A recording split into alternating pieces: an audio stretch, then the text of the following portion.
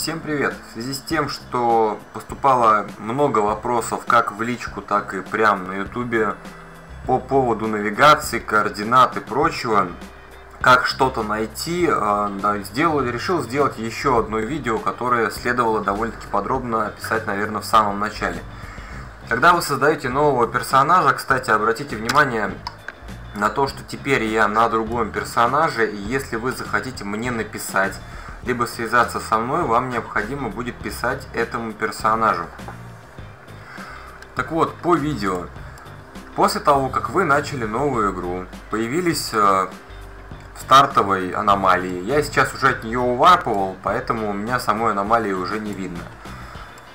Как вернуться туда, что невозможно насканить? Допустим, вы хотите вернуться, ну не знаю, куда-то, вам необходимо создать координату на себе, так называемую букву. Можете сделать следующим образом. Нажимаете Alt-E, либо вот эту вкладочку и нажимаете «Сохранить координаты». После того, как вы координаты создали, можете поменять имя, нажимаете «Отправить». И в этой же вкладке вы увидите в разделе личных координат вашу букву. Если в корпорации, в которой вы находитесь, есть еще какие-то координаты, вы также их будете видеть как корпоративные координаты. Что можно сделать с этой буквой? Помимо того, что ее также видно при щелчке правой кнопкой мыши по, по свободному месту в космосе, так и можно сделать следующее. Смотрите, чтобы было наглядно. Выходим из корабля. И варпаем на станцию. Кто еще не знает, если вы, э, допустим, потеряли корабль и вы по приварку на любую станцию, где у вас нет кораблей, вы получите точно такой же стартовый корабль, как только что у меня был, в зависимости от вашей расы. В данный момент я от балды начал колдари, соответственно у меня ибис колдарский. Ну и соответственно у матарцев свои, у амарцев свои, у галентов свои. Так вот, по приварку на станцию вы можете эту букву продать, допустим. Если вы живете в нулях, э, там, ну или еще где-то, и что-то хотите, какие-то координаты продать, очень часто, допустим, продают экспедиции. В Империи я, правда, не знаю, покупают ли их вообще и продают ли вообще, но в нулях это нормальная практика. Когда вы крабите аномальку, у вас выпадает экспедиция, либо плекс, вы можете продать. Как это сделать? Вам необходимо сделать следующие вещи. Открыть для начала ваш ангар, и открыть, собственно говоря, сами координаты. Смотрите, на складе ничего нет. Просто берете, хватаете за букву и перетаскиваете ее на склад. Все. Ваша бука, так называемая, она на складе. Если вы сейчас выйдете в космос, то вы уже не увидите по щелчку правой кнопкой мыши вашу координаты. Видите, ее нету. А если вы, допустим, купили букву, как ее положить обратно?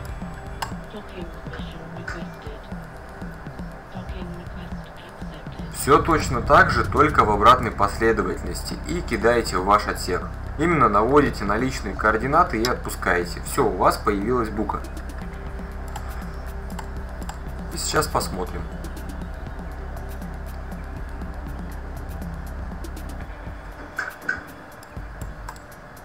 Нажимаем правую кнопку мыши и видим, что у нас появилась опять личная координата. Все, летаем, летим туда и забираем свой кораблик.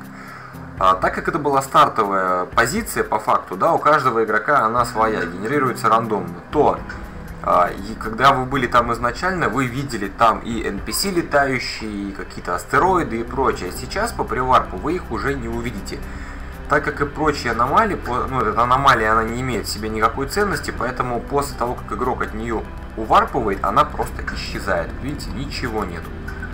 Пустой голый космос. Стыкуемся обратно в наш шаттл. И смотрите, второй момент. А, рано или поздно вы столкнетесь с такой ситуацией, когда летали, летали, летали, и вдруг бац, забыли, где ваша домашняя станция, где у вас лежат ваши вещички. Как их найти? Нажимаете базу личного имущества, либо Alt английское Т, и вот здесь вы видите название системы и название станции, в котором ваше барахло лежит, и вы видите, что здесь лежит. вы можете либо, а, если в той же системе, войти в док, либо задать место назначения, если вы не в той же системе. Так вы можете проследить абсолютно любую станцию, на которой хоть что-то из вашего имущества лежит. Многие люди, допустим, для того, чтобы не запариваться сильно и не искать долго, они координаты создают, разбрасывают там, и кто-то ракету бросит, кто-то еще что-то по каким-то необходимым для них станциям, чтобы вот в этом списке они все перечислялись. Либо, опять же, момент с буками, вы просто варпаете на станцию, либо можете не варпать, а просто правой кнопкой мыши в овервью сохранить координату и называете все, это ваша домашняя станция. Если вдруг, мало ли, ваш знакомый начал играть, вы с ним начали играть разными расами, вы живете на разных станциях, вы просто можете контрактом, хотя я не сильно уверен, по-моему, контракты нельзя на реальном аккаунте использовать, передать ему эту букву. Создаете, допустим, в жите, он прилетает в житу, чтобы 15 раз не объяснять, если особенно человек уж совсем плохо разбирается в Еве, да, и не сможет воспользоваться поиском, как опять же что-то искать. Берете, открываете поиск и неважно, что вы пишете. Допустим, возьмем нашего прошлого персонажа. Все, поиск находит максимальные совпадения. Вот он, наш прошлый персонаж, 26 дней. Кстати, для тех, кто еще не знает, а, буквально пару дней назад CCP отменила 30-дневные аккаунты. А теперь а, реальный аккаунт доступен только на 14 дней. В ссылке под видео будет, э, вернее, под видео будет ссылка на 21-дневный реальный аккаунт. Если кто-то создаст аккаунт по этой ссылке и в дальнейшем оплатит его, то вы можете получить от меня на свой счет в зависимости от курса на данный момент плекса ровно половину его стоимости. То бишь, э, создайте по ссылке, оплачивайте, неважно, плексом, либо наличными, и э, подтвержди, скидывайте мне скин с подтверждением на вот этого вот персонажа. После этого я вам перевожу половину стоимости плекса на ваш валет. Если вы новичок, и вы еще пока не знаете, сколько стоит плекс и зачем он нужен, то плекс это аналог оплаты наличкой. То есть, по факту, где-то вот сейчас стоит он в районе 100 миллиона, миллиарда 170. Для понимания, э, неплохой корабль, возьмем там, не знаю, многими любимую мочалку, она стоит в районе 444 миллионов исков. То бишь, э, вот такой вот корабль вы купите сходу, не напрягаясь, и будете сразу получать повышенный доход. Ну, опять же, за половину плекса, за 700 миллионов, за 600 миллионов можно купить и корабль, и Т2 обвес на него. До Т2 обвеса вы вряд ли вначале докачаетесь, поэтому, скорее всего, это будет Т1 мета 4 обвес. Ну, думаю, по букам на этот раз должно быть все понятно. По, кстати, управлению кораблем. Сколько вы не пытаетесь, у вас корабль кнопками не полетит. У вас будут вот такие вот вещи. Как корабль в принципе развернуть в другую сторону? Либо вы можете, опять же, в настройках включить управление клавишами, но я пока еще не видел ни одного человека, который этим, который этим пользуется. Но что делать, если вам действительно надо вручную корабль повернуть в какую-то сторону? Вы просто делаете двойной клик по космосу, и ваш корабль начинает лететь туда, куда вы хотите. Для чего это надо? Если вы полетели в нули и попали в бубль, то для того, чтобы максимально себя обезопасить, вам необходимо лететь в сторону, которая будет максимально ближе к краю бубля. Соответственно, вы по приварку, давайте я вам сейчас покажу, чтобы вы понимали, о чем я говорю. Допустим, вы попадаете в гейт. Залетим в ворота.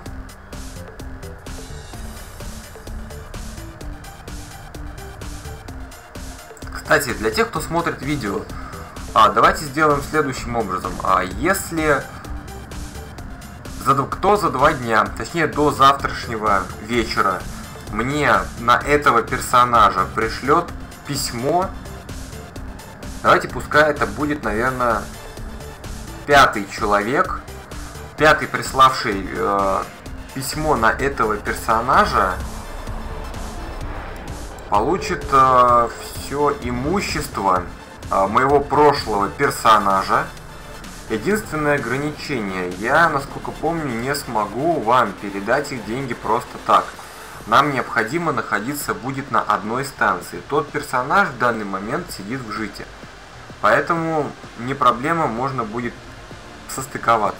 Так вот, по поводу входа. После того, как вы вошли в ворота, вы находитесь какое-то время в так называемой гейтовой клоке.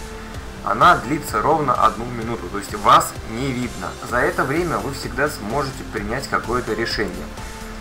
Представим, что здесь бубль. Вы отдаляете камеру максимально и смотрите, в какую сторону находится ближайший край бубля. И быстро щелкаете в ту сторону и нажимаете МВД. Если у вас есть клока, включаете МВД, тут же выключаете и нажимаете на клоку. Все, у вас скорее всего 99% шанс того, что вы выживете. Э, если у вас есть ковер клока, вы просто-напросто успеете уйти в ковроклоку раньше, чем вас залочат. А так как вы будете находиться под действием МВД, один цикл то, соответственно, вас не расклочат, скорее всего, потому что сложнее будет определить ваше местоположение. Ну, я думаю, что на этом а, видео можно заканчивать. А, позднее я покажу, скорее всего, опять же завтра, когда, если кто-то мне все-таки напишет сообщение по поводу наследства от прошлого моего персонажа, а, как раз передам этому человеку барахлишко и покажу видео о том, как вообще в принципе фитить корабли, зачем это надо и как сделать фит максимально эффективным именно для новичка. Я не буду рассматривать PvP фиты, я не буду рассматривать пасту и батарейки. Это будет обычный средний фит для новичка и просто объясню как и зачем. Если появятся какие-то вопросы, какие вы хотите, чтобы я осветил в следующих видео, обязательно пишите либо в комментариях, либо просто на почту этому персонажу. Еще раз покажу персонажа. Персонаж создан на одном из основных аккаунтов и к нему доступ будет всегда. По прошлому аккаунту, скорее всего, я его оплачивать не буду, так как у меня и так этих аккаунтов уже слишком много. И дополнительный аккаунт мне просто не особо нужен. Будут, будут вопросы, жду их на почту, либо в комменты. Всем пока.